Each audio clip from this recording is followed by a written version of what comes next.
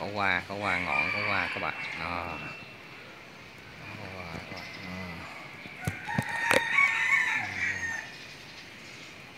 Ừ.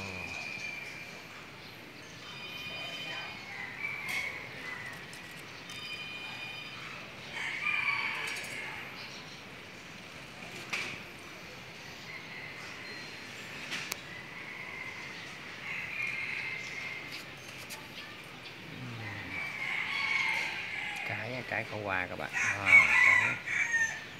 à, ờ, trái trái à.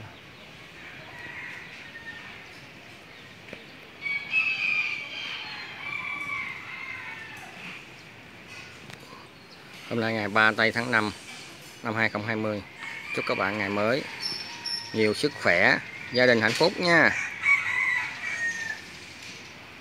Chào các bạn